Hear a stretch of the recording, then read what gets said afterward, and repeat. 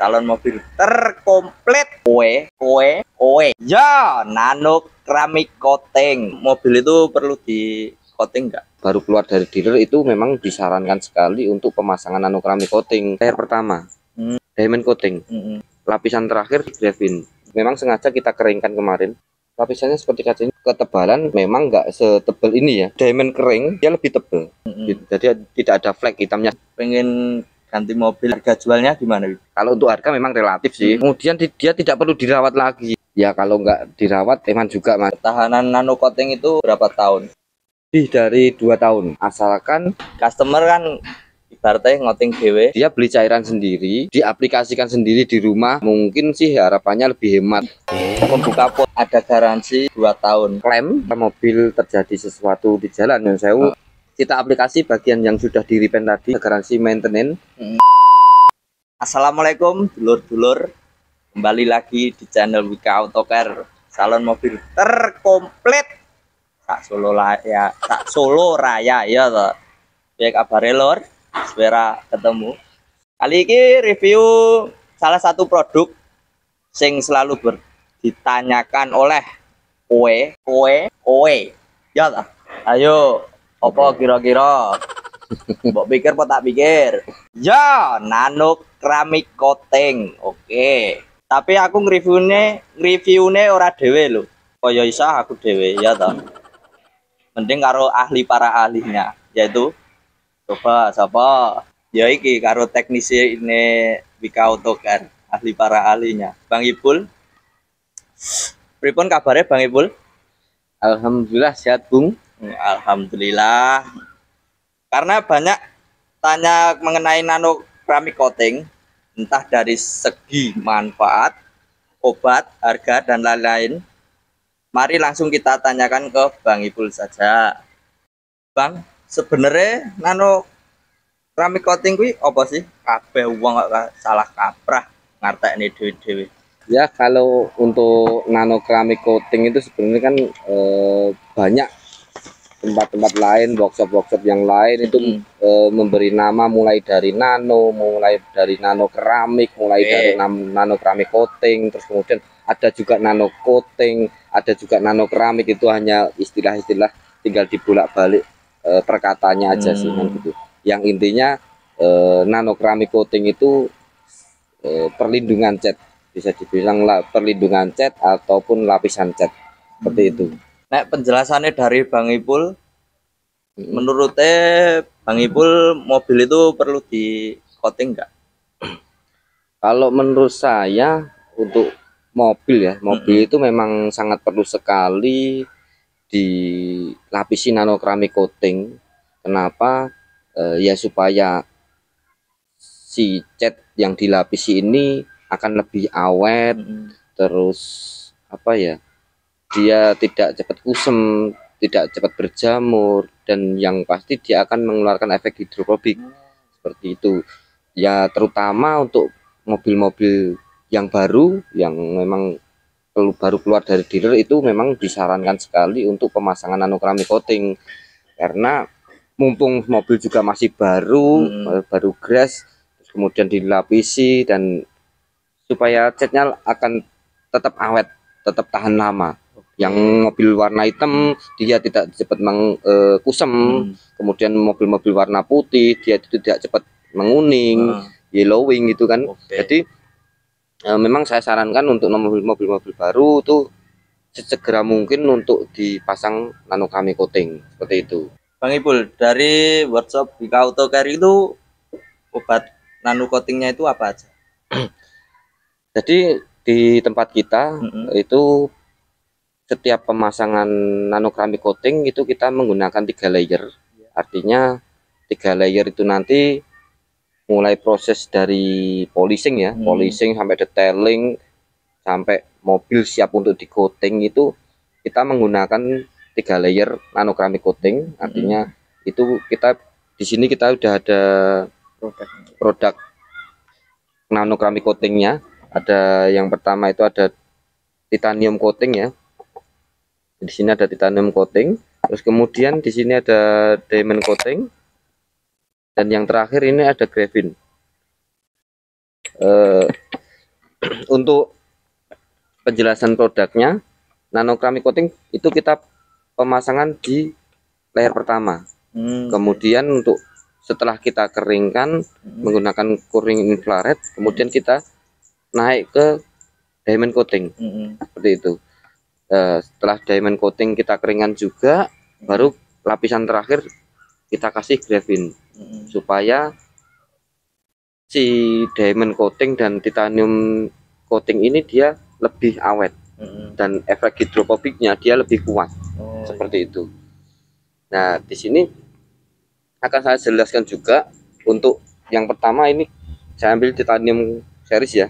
Hmm. Titanium series ini ini kemasannya masih segel, artinya masih belum kebuka ya. Belum kebuka, terus kemudian ini yang sudah kebuka dan memang sengaja kita keringkan kemarin. Kita keringkan. Jadi nano keramik coating ini eh, si titanium ya titanium series ini ketika dia kering dia seperti kaca bisa dilihat kamera ya ini coba kita keluarkan ya nah jadi seperti ini dia lapisannya seperti kaca ini nggak bisa keluar nih karena terlalu besar nah seperti kaca ini ketika dia dilapiskan ke bagian cat mobil Hmm.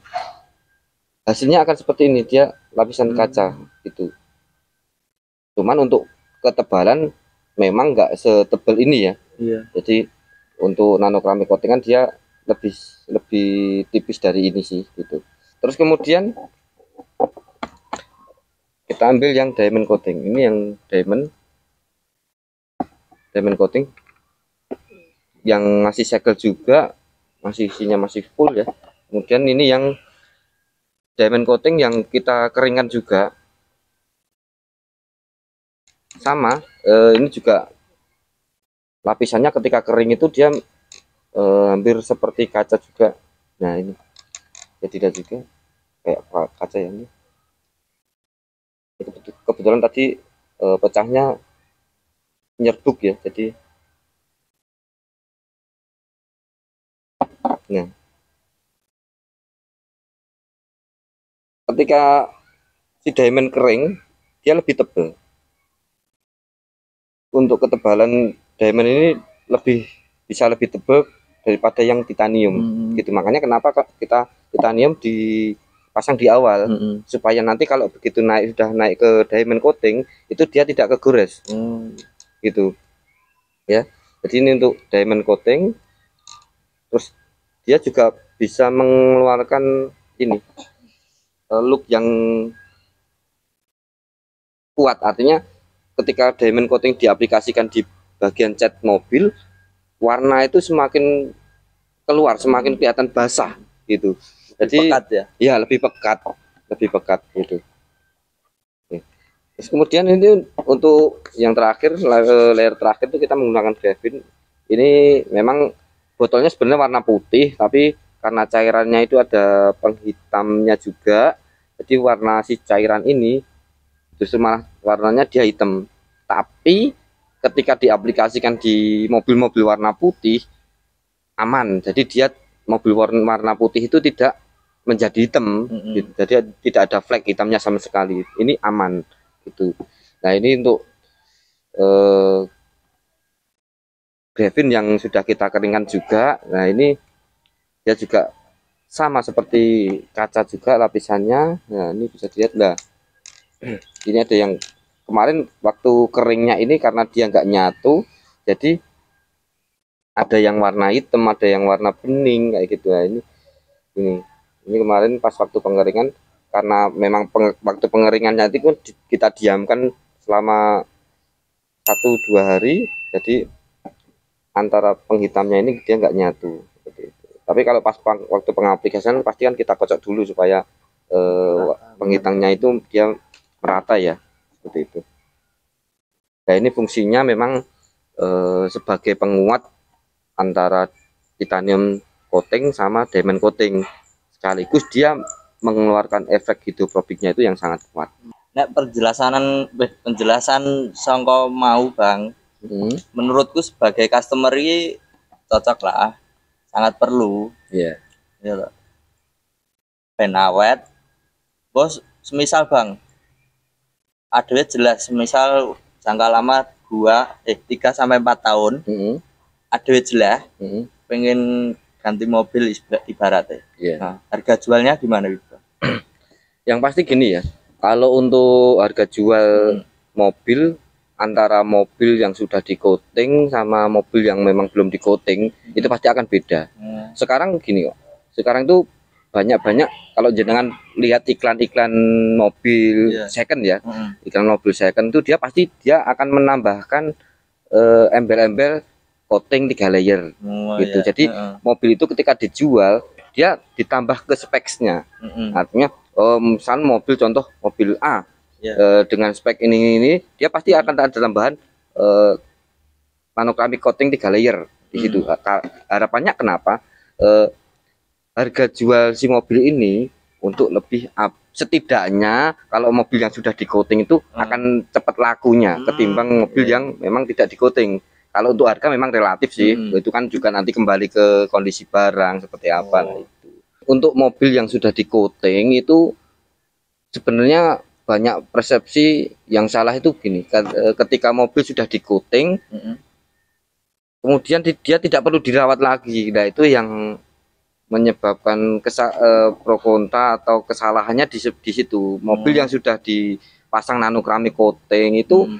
memang perlu juga untuk dirawat supaya kenapa? Supaya si nanokrami coatingnya ini dia bisa bertahan lebih lama Hmm, kayak gitu. iya, iya. Sebenarnya perawatan nanokrami coating itu juga lebih simpel kok. Artinya mencuci mobil dengan baik dan benar. Diusahakan jangan kena sinar matahari secara Hmm. langsung, terus kemudian cari waktunya yang tepat dan kadar air di rumah itu juga harus yang bagus. Mm-mm. Seperti itu. Terus kemudian ketika mobil dipakai di jalan eh, tiba-tiba hujan, Mm-mm. nggak mungkin kan kita juga harus langsung menyuci Iya. mobilnya Mm-mm. Bad- sedangkan kondisi badan kita capek habis dari luar kota terus kena hujan itu kalau mobil yang sudah di nanokrami coating didiamkan dulu nggak apa-apa Oh, iya. didiamkan dulu semalam besok bangun tidur pengen nyuci mobil baru dicuci itu malah Hmm. lebih bagus gitu jadi ada fungsinya juga di nanokrami coating melindungi eh, air hujan Oh, iya. seperti itu terus kemudian jika diperlukan untuk tambahan-tambahan kayak wax itu kalau saran saya boleh tapi yang rekomendasi dari saya itu cari yang waxnya yang spray aja supaya lebih simpel penggunaannya terus kemudian resiko pas waktu pengaplikasiannya Hmm. juga minim Oh, iya. artinya minim itu kalau misalkan jangan pakai yang pasta nih pakai yang pasta kita Hmm. oles kemudian peng- pengelapnya ini kurang rata dan masih meninggalkan bekas di situ nah itu juga akan beresiko Oh, iya. Ya, cari yang spray aja supaya lebih enak tinggal di spray ke bagian panel mobil baru kita ratain udah simpel aja itu Kalau kan banyak customer bilang kalau nyuci itu harus pakai sabun khusus. Nah, sabun khusus itu apa? kalau sabun khusus ya kalau sabun khusus saya sih ya yang penting khusus khusus sabun sampo mobil kan Oh, gitu iya. bukan sampo Buat keramas ya? rambut jangan ya karena pH-nya Hmm. pasti beda Hmm. seperti itu Kan habis dicuci Hmm. itu harus dilap pakai kanebo atau microfiber Eh, untuk bagusnya. itu saya kembalikan ke customer Hmm. lebih nyamannya seperti apa kalau pemakaian kanebo juga boleh kalau saya pakai microfiber juga boleh Oke. ataupun kanebo dulu baru microfiber itu boleh Hmm. seperti itu Di rumah oke Mas ya? yang penting ketika pas eh, nyiram airnya itu mas Heeh. itu diusahakan untuk pasir dan segala Hmm. macam rontok dulu Oh, baru iya. Eh, pemakaian sampo Mm-mm. kemudian eh, pengeringan menggunakan kanebo sama lap microfiber. Mm. kayak gitu. Terus nanti di video kita cara mencuci baik dan benar juga sudah ada ya. Nanti bisa dilihat linknya di kolom komentar supaya nanti pemirsa bisa cari tahu sendiri cara mencuci baik dan benarnya. Itu. Nah ya Bang berarti ya kudu dirawat tenanan ya nano coating. ya kalau nggak dirawat Eman juga mas Mm-mm. kita beli mobil seharga ratusan juta udah Oke. di nano keramik coating terus kemudian kita abaikan gitu aja dan tidak dirawat ya sayang sih kalau saya Gini bang, customer kan banyak yang tanya ketahanan nano coating itu berapa tahun? jadi untuk ketahanan nano keramik coating itu Hmm. ya alhamdulillah kita udah berjalan udah hampir lima tahun Mm-mm. untuk ketahanan nano keramik coating itu lebih dari dua tahun Mm-mm. saya menjamin itu lebih dari dua Betul. tahun asalkan perawatannya baik dan benar Mm-mm. ya jadi tidak asal-asalan Mm. kalau mobil itu dirawat dengan baik dan benar dan apa yang saya sampaikan tadi Mm. cara mulai dari cara mencuci terus Mm. kemudian cara merawat untuk lebih dikasih wax sifatnya yang spray tadi Mm. terus kemudian maintenance-nya juga rutin Mm. itu insya Allah lebih dari dua tahun dan nano keramik coating itu sifatnya dia kan permanen Mm-mm. dia udah nempel ke bagian Mm-mm. dan itu udah permanen Mm-mm. memang bisa dihilangkan dengan Mm. cara-cara sendiri ya Iya. itu nanti yang yang lebih paham ke teknis Mm-mm. gitu Ke- jadi dia bisa hilang juga tapi dengan cara teknis yang kita pahami sendiri jadi memang memang kita tidak publik- publikasikan Mm-mm. dan nano keramik coating itu dia sifatnya memang permanen Mm-mm. itu permanen dia menempel secara eh, menempel secara permanen di cat kemudian dia butuh perawatan di situ Gini bang, kita kan dulu pernah mengerjakan nano coating, gitu. Kan gimana ya? Salah kaprah sing kena. Customer kan ibaratnya ngoting dhewe. Nah, ini kan koyo gak normal apa? Wis Gak etis. Iya. Kayak enek bleret-bleretane ngono kayak merga kena apa? Jadi memang kita pernah beberapa kali dapat project pengerjaan mobil eh, yang customer ini dia beli cairan sendiri Mm-mm. terus kemudian dia diaplikasikan sendiri di rumah Heeh. mungkin sih harapannya lebih hemat ya Heeh. cuma eh, ada kesalahan waktu pengaplikasiannya Hmm. gitu jadi eh, kalau saya rasa itu memang nano keramik coating itu dia diaplikasikan sendiri kemudian tidak tidak diratain dengan lap Mm-mm. lalu dibiarkan begitu saja akhirnya dia kering dengan sendirinya Mm. dan karena nggak diratain ya jadinya kayak semacam ini apa ya eh kalau kita pakai kalau cewek-cewek pakai bedak terus Ya. diratain kan ya Oh, pating gitu, Mas. Iya nah itu Ya, hasilnya hampir sama kayak gitu jadi eh, boleh lah kalau ka- buat customer pengen coating sendiri di rumah saya Hmm. silahkan monggo selama jenengan eh, tahu caranya bagaimana resikonya nanti lah itu jadi eh, kalau memang nggak bisa ya saya harapkan serahkan aja kepada ahlinya Oh, iya. supaya mobil jenengan juga nggak jadi luka dan nanti efek resikonya itu juga nggak ada seperti itu ya Berarti nano coating ki perlu dipoles gak, Bang?